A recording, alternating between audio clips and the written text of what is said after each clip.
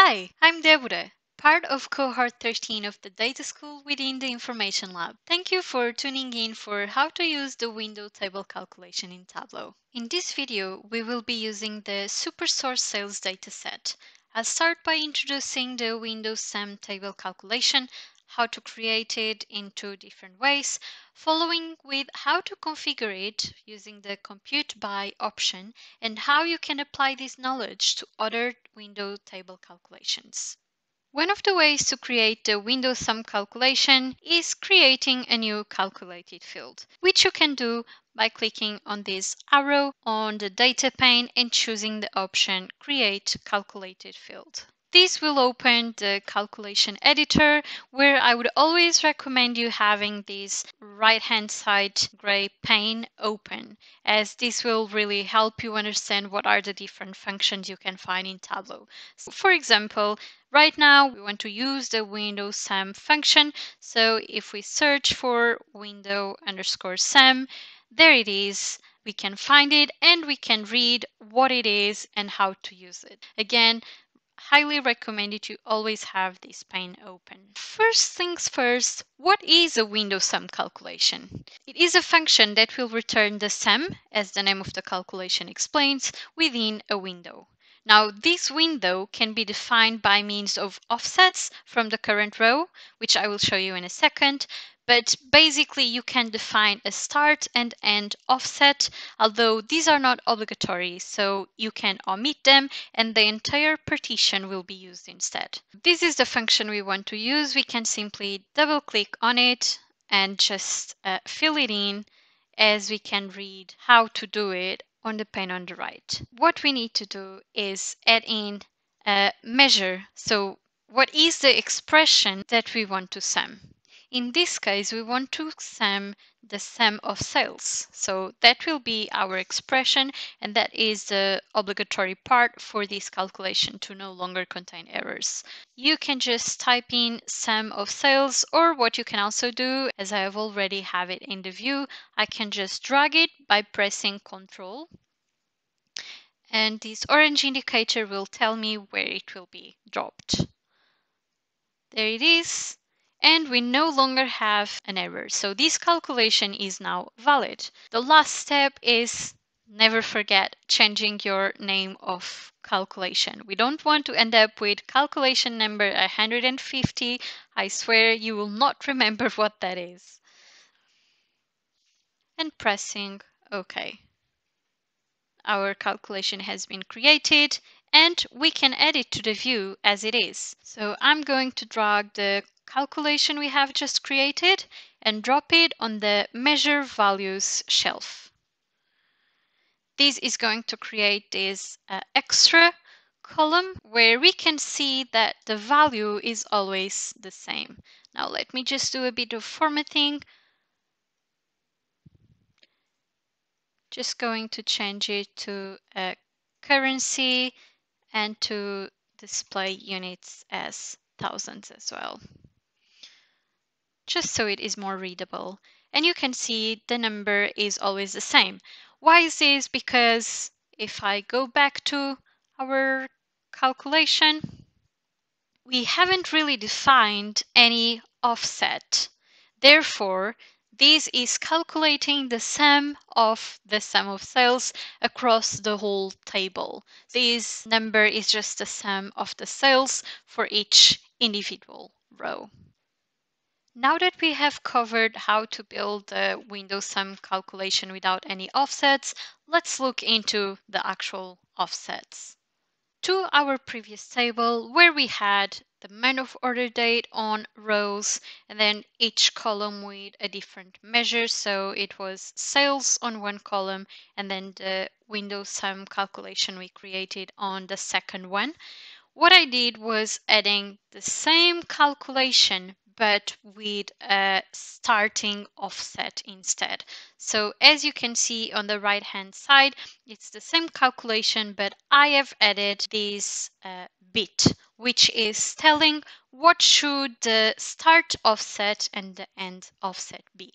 In this case, we have the starting at minus one and end zero. So this means minus 1, it will go into the previous, in this case, previous row, and the end is 0, so it should be the current.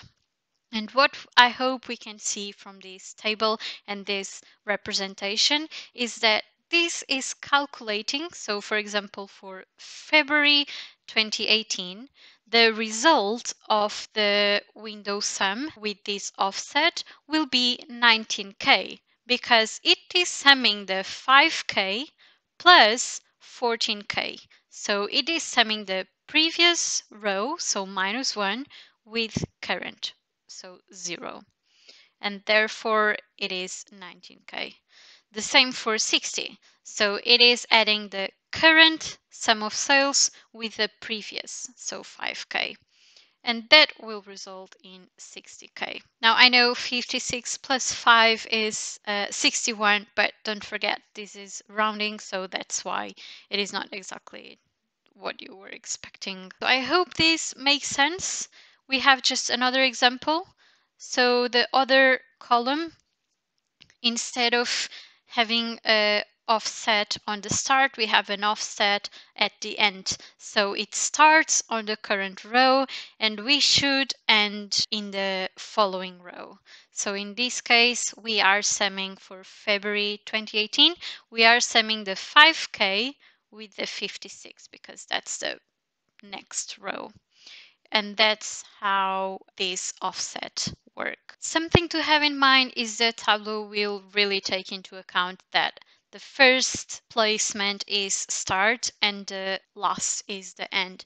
So what that means is that if you try to have a higher number at the start than at the end, you'll have an error. So for example, given that my end is on zero, I can't really ask Tableau to have the start at two. It has to be before zero. So minus one, minus 2, and so on and so on. The same will apply the other way around. So if I say that my start should be at 1, I can't say that the end should be at 0 because that's before the start and that wouldn't make sense. So just something to have in mind. Now that we know how to just create a new calculated field and use the window sum function, let's learn another way to create it.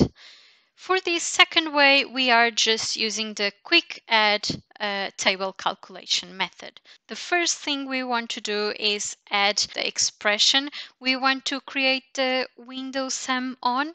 In this case, it is sum of sales, so I already have it in the view. And the next step will be to choose the option add table calculation. So this is the second option. You can just, after having the expression on the view, you can simply right click, add table calculation and then you can configure it. So the equivalent calculation, it isn't called a window sum, it is moving calculation. And then you can really, just going to zoom in, and then you can really specify what type of uh, calculation you want to do. So we have seen the sum, but you could also do average, minimum, and maximum. So this is the equivalent of window average, window minimum, and window maximum that we'll see in just a second. But let's focus on what we have just seen. So it should be sum. And then this is the offset. Instead of having to think about what is the start and what is the end, uh, you can just use these options. In this case, in order to mimic the option of giving me the sum of the current and the previous row, uh, we want to do previous value 1 and no next values, and we want to keep the current value as well. This is the equivalent of the offset with start in minus 1 and at 0. If I exit and I move this onto our measure values shelf, and if I quickly just change the formatting, so it is also on currency and we have the display units of K if it's thousands. And there we go. We can see that for March 2018, the result is 60k. because it will be the 55k plus 4.5k. It's exactly the same as uh, the calculation that we have seen previously. The last step is understanding how the compute by functions.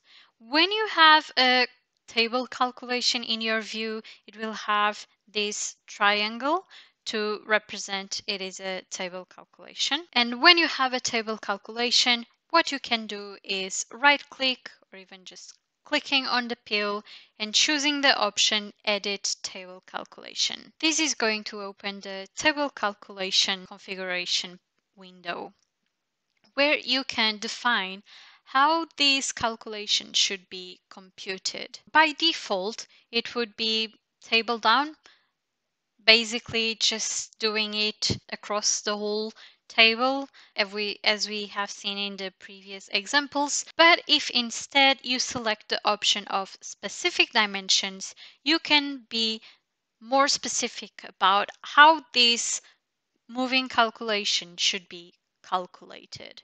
Now, I am not going to cover all these options. I will just quickly show you what I hope to be an easier way to understand what this is actually doing. What I believe helps understanding this window is kind of translating it into English. The way to read it would be for each unticked field, compute the calculation type by all the ticked fields. So in this case, where we have ticked segment but unticked month of order date, what we are actually telling Tableau to do is, for each month of order date, compute the moving sum of previous to current by segment. And what difference does it make? Instead of just going row by row, and uh, I believe one really good example would be on these 3K. If we didn't have this option, the 3K would simply be 3 plus 6 because it would just go row by row in the table. But because we said for each month of order date, it will restart the 3k is actually 3k rather than the 3 plus 6. And then it continues. On corporate February 2018, it is 4k, so 1 plus 3. Now, these may not make as much sense, but it was just to really understand what is going on with all these options. Now we have the other option, which would be unticking segment and ticking month of order date. So in this case, what we are asking Tableau to do is for each segment, compute the moving sum by month of order date. As you can see, the results are computed really differently. For example, for this 10K, it is not calculating just the current value. It is not calculating 3 plus 6, it is calculating 3 plus 7. Why? Because it is going into each segment. So in this case, it's like you just had a table with all the consumer rows and then it is just going, okay, this is the second row.